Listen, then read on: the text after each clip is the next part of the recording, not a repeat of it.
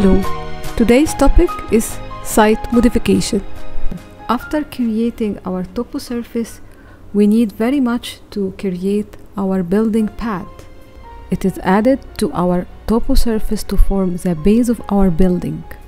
So we would hit massing and site, building pad. Revit would ask me which view do we need. So I would choose floor plan site. Open that view. I'm sketching the building pad and this is its type.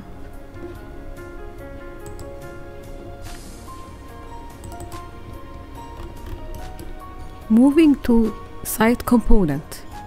To add site components we can place site specific components such as trees utilities pole and fire hydrants in a site plan by hitting massing and site tab and then site component.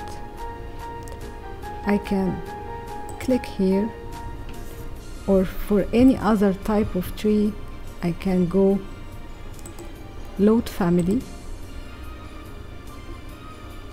I prefer US metric.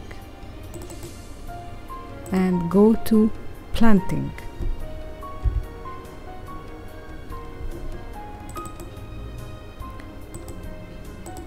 these are the types of trees. I would open that one for example. And to load fire hydrant for example you need to go to site component load family. We need to go to site instead of planting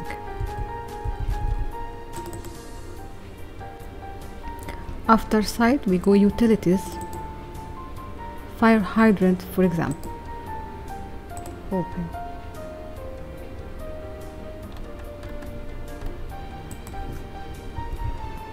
For adding parking components we also hit massing on site parking component. These are the type of parking spaces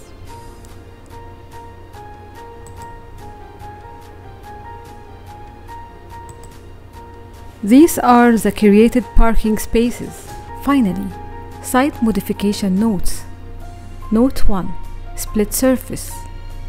Split surface. We use that tool to split a topo surface into distinct surfaces and then edit those surfaces independently.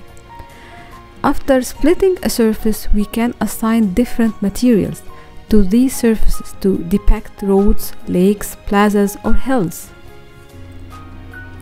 Hit Massing and Site tab, split surface,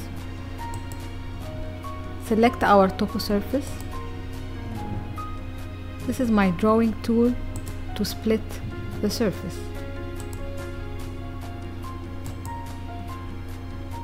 Finish edit mode the topo surface got splitted.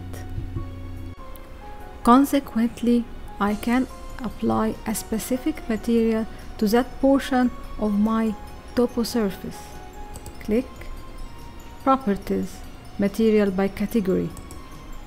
Click on that small box.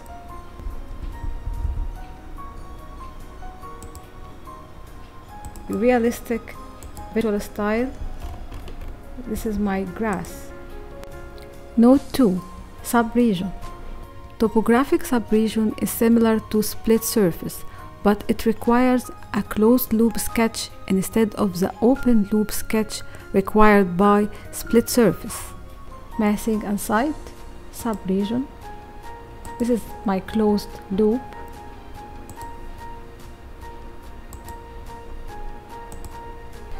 Also from properties material asphalt for example. Okay. The asphalt region of my site. Note 3 label contours. Massing site label contours. Notice that only that contour has been labeled. To fix that problem massing site go to site setting and change the intervals of contours to be for example 0.5 meter. Apply OK. All contours have been labeled. Note 4 the backfilling. In the site setting we will find earth.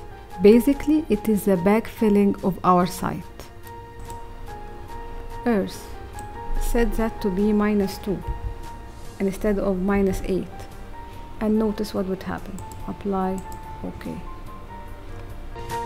by this we come to the end of our topic today. Please like this video if you find it helpful